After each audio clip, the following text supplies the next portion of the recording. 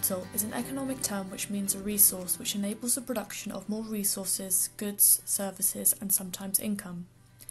Capital can come in different forms, such as manufactured capital, which can be buildings and machines, human capital, which is education and experience that comes with a person, and natural capital.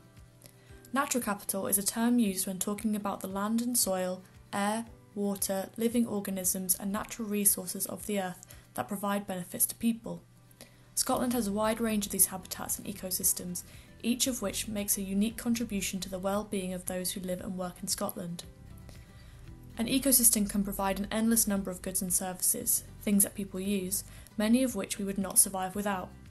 A few include producing oxygen, cleaning air and water, providing building materials and fuel like wood, preventing erosion, as well as making people who visit the ecosystem feel better. These goods and services are known as ecosystem services. So let's take our river in a woodland. We have trees that produce wood for building, we have a river that fish live in that people can eat, and all the plants create oxygen for us to breathe.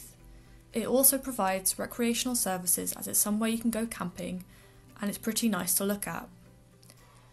However, if an ecosystem is not healthy or it is destroyed, it won't be able to provide the goods and services as well. Because nature provides its benefits for free, the services it provides are often undervalued.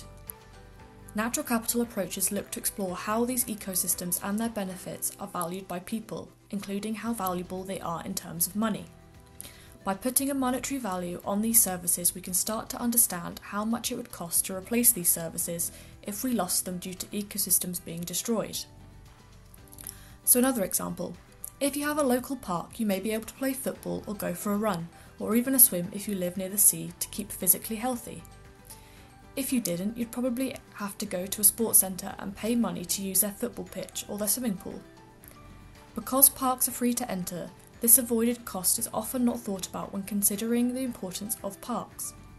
However, working out the monetary value of a habitat is very difficult. There are not only lots of goods and services and lots of factors that affect how well these goods and services are delivered, but habitats are also always evolving and changing.